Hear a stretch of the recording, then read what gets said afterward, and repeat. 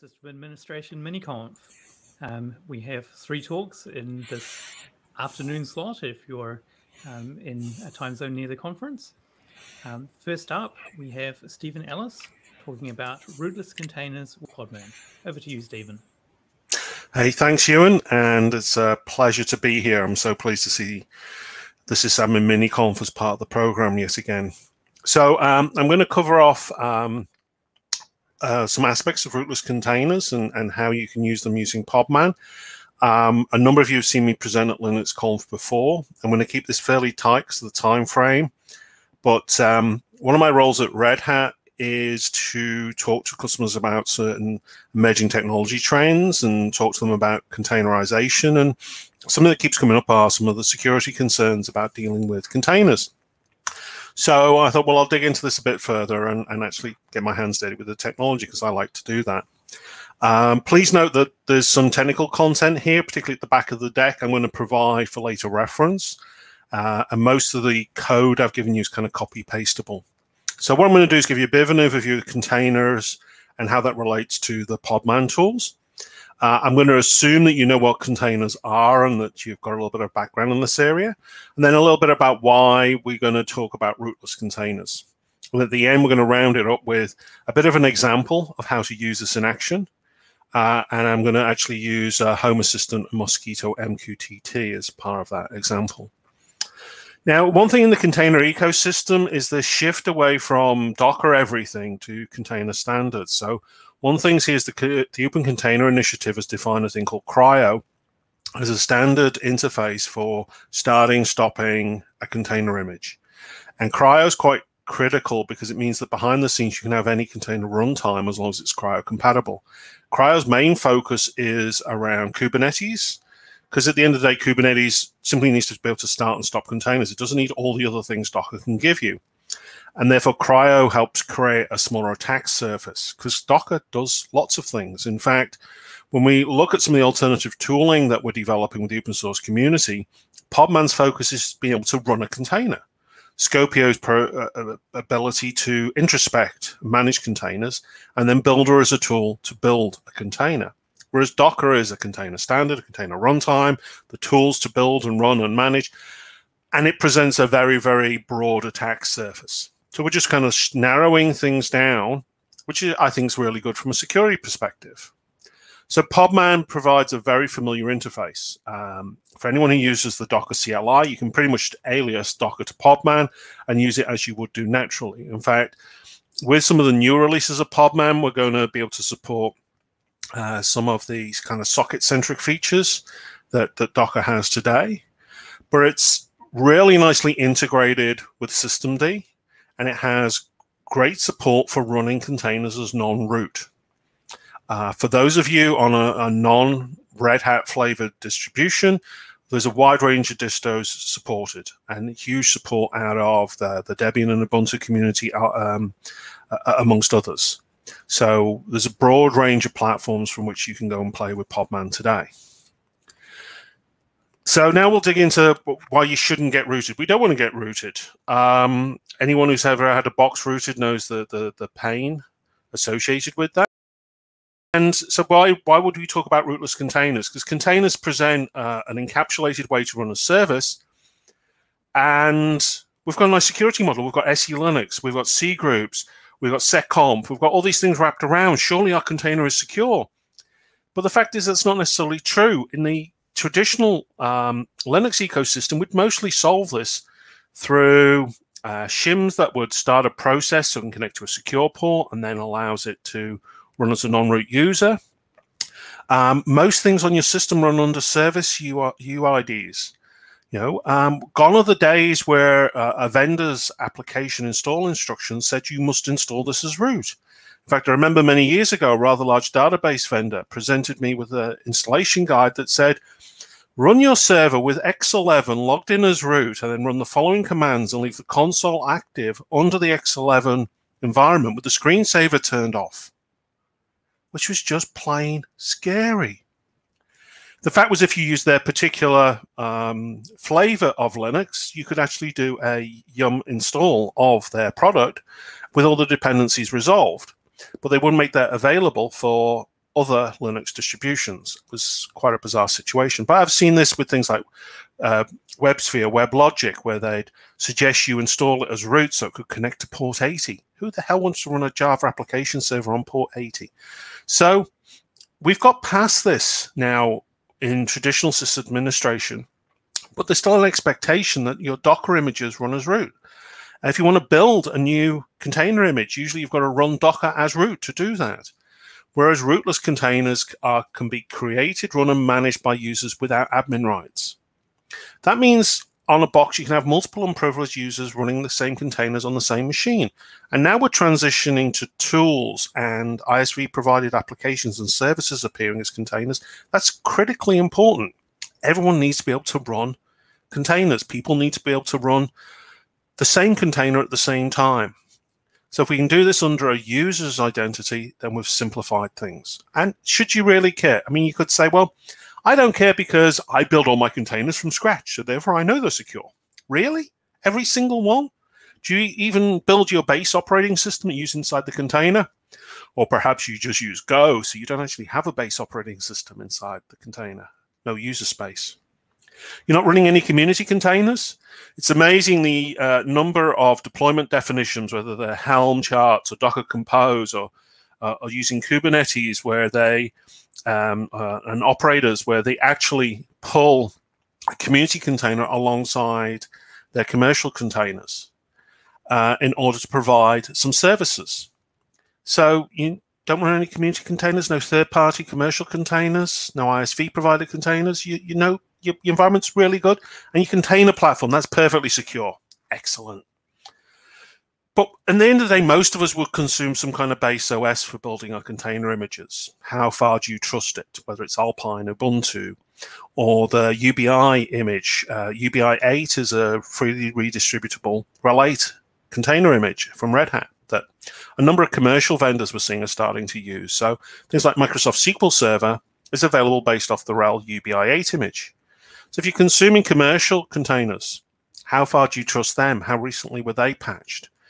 um, how are you going to avoid a potential security risk in your environment? So I care. I want to make sure that my customers' environments and my home environments are, are safe and secure. And there's lots of compromises. I'll again I'll share these slides, look at the links, but the the StackRox analysis that happens uh, regularly is always quite enlightening. There's always new reports on the number of containers in Docker Hub with vulnerabilities. And in fact, there was a new Kubernetes vulnerability reported in the last week. So no matter what you're doing, there's always a risk and an issue. Everything we can do to mitigate that is useful. So let's do that. Let's go rootless. How can we run our uh, containers without root? So when I approach these things, I kind of like want to put myself in the mindset of the customer or the end user. I want to also validate the technology in a way that excites me. This is really important because otherwise I'll get bored and I'll go off and do something else or distracted. And I want to do something that's going to be interesting and important to me. I want to try and avoid cutting corners. So always run a proper, secure lockdown environment and try and look at how it's relevant to a customer and end user. But then I try to look at what do I need that could or should be in a container uh, using a third party container. And many of these things I could build, rebuild the container image myself, but at the end of the day, sometimes you just want to use a community build of a tool or a, um, a technology. So I looked at what I'm running around home, existing websites. I've got a Trac server with SVN and Git. I've been running MythTV forever, but that's really kind of got to be on. A, it's more of an appliance. My firewall is effectively a, a DD-WRT appliance. Uh, I've got a few other things that I could try and re-platform, but they're not that exciting. So let's talk about the the shiny. And the shiny for me was home automation. I had some Xiaomi temperature sensors. I had a few uh, smart plugs that I'd hacked um, I wanted to be able to integrate these. So I was looking at home automation. And there's lots of people trying to run things like Home Assistant in a container. Uh, now, stepping back and taking a look at things like Podman, well, there's two ways of running a container rootless. You can either run it a container as a user, where the inside the container, the process is still running as root.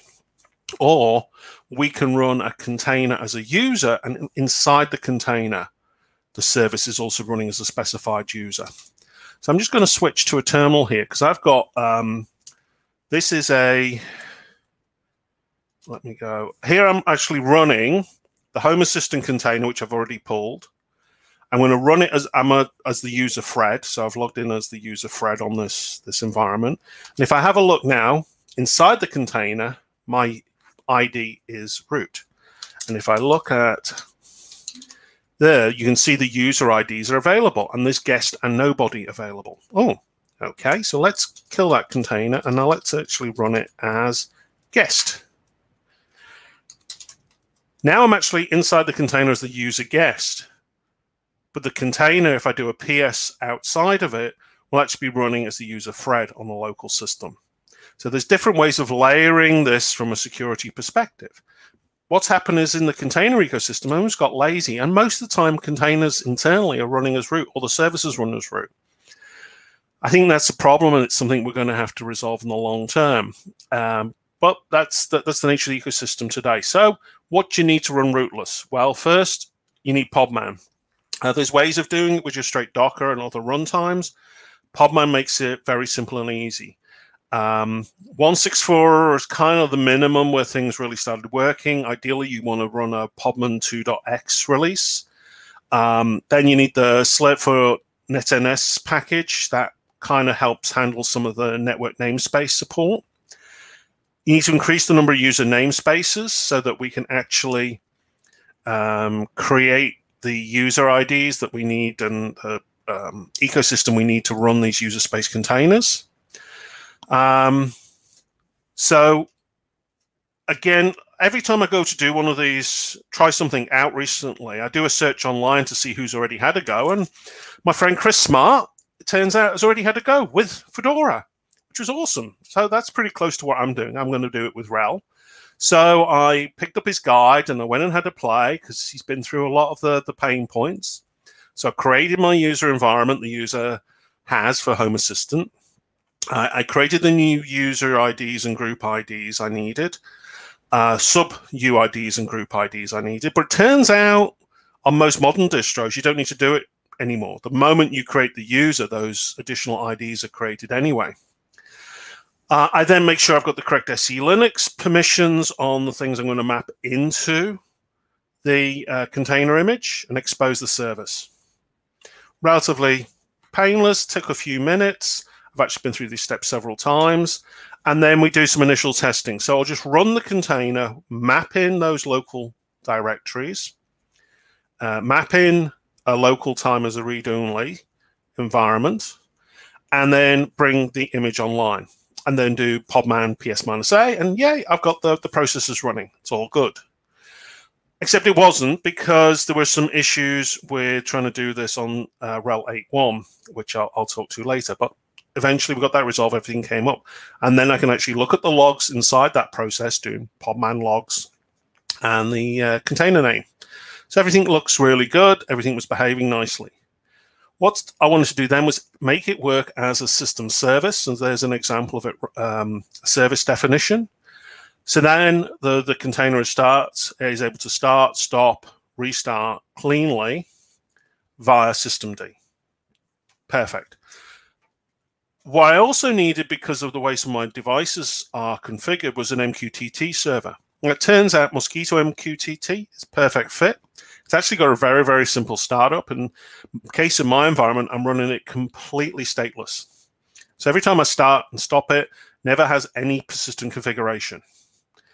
Um, now, I could, and in theory, from a security perspective, modify this so that I'm actually using uh, passwords or keys for my devices and so forth. But the way I've got it at present is all of my IoT devices are on a specific dedicated network. So things are kind of locked down at the network level rather than the MQTT level. Again, here's a systemd uh, example for bringing that up online. So now I've got a working um, Home Assistant environment with MQTT integrated, and all my devices come online, and I'm able to do some home automation. Awesome. so what's good, what's bad, what's frustrating? Well, what was frustrating at first was rootless support in RHEL 8.1 Podman wasn't fully functional. There was some weird, weird memory issues and a couple of other side issues with rootless support. Uh, luckily, I could raise a few support cases and work with this with the team. So we actually managed to get um, early engineering builds of the next release of Podman. And so by the time we actually GA'd RHEL 8.2, everything was working nicely. What was also frustrating is it would have been painless if I'd just done it on Fedora. But coming back to my earlier statement, I want to run it on an environment that customers would run it on. So I had to try it out on RHEL.